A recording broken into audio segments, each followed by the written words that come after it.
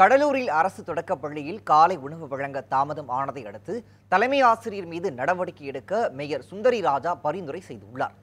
கடலூரில் டெங்கு பரவல் மற்றும் காலை சிற்றுண்டி வழங்கும் திட்டம் தொடர்பாக மேயர் சுந்தரி ராஜா திடீர் ஆய்வு மேற்கொண்டார்.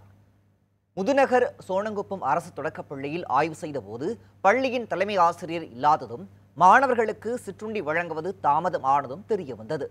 அதைத் தொடர்ந்து சிற்றுண்டி வழங்கும் பணிகளை மேயர் சுந்தரி ராஜா துரிதப்படுத்தினார். இதற்கிடையே பள்ளிக்கு மேயர் ஆய்வு செய்ய வந்த தகவலை அறிந்து தலைமை ஆசிரியர் காலதாமதமாக பள்ளிக்கு வந்தார். அப்போது தலைமை ஆசிரியரை கடிந்து கொண்ட மேயர் காலை சிற்றுண்டி திட்டத்தை முறையாக செயல்படுத்துமாறு அறிவுறுத்தினார். பின்னர் தலைமை ஆசிரியர் மீது நடவடிக்கை மேற்கொள்ள மாநகராட்சி ஆணையரிடம் பரிந்துரை செய்தார். அதன் பின்னர் சிங்காரத்தோப்பு பகுதியில் ஏற்பட்டுள்ள டெங்கு பாதிப்பை வீடு வீடாக சென்று அவர் ஆய்வு செய்தார்.